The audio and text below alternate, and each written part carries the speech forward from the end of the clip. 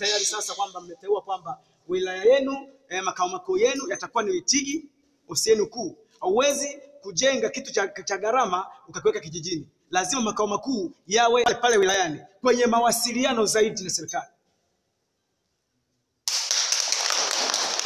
kwa sababu viongozi hawa mnaowateua si viongozi wa mdomo kama mnavyodhani sasa.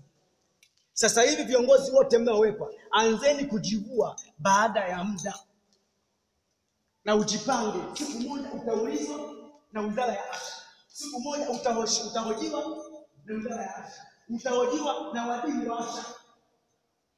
Unafanya nini unakifanya?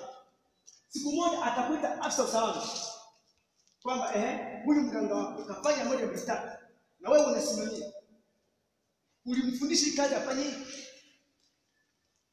natakiwa sasa mwanze kuchukua jukumu na kupata elimu juu ya kuwasimamia waganga na juu ya kumtetea mganga anakuwa. Kwa hiyo sasa, kwamba tuende kwenye ujumbe wetu kwa heshima na taadhima.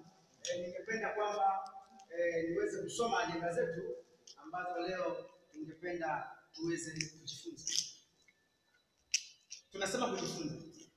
Nimepewa agizo Lemo nimepewa agizo na mganga mkuu wa mkoa kwamba waganga wote wapate kupewa elimu, na elimu hii si mwisho. Vile vile waganga wote ndani ya wilaya ya wilaya wanatakiwa watafute siku rasmi